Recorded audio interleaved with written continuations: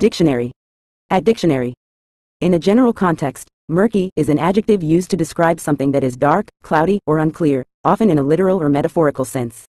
When referring to water or liquids, it suggests that the substance is clouded or muddied, making it difficult to see through. In a figurative sense, murky is used to describe situations, ideas, or information that are unclear, vague, or lacking transparency, making it hard to understand or navigate.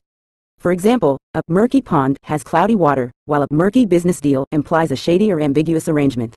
Murky highlights a lack of clarity, transparency, or straightforwardness in various contexts.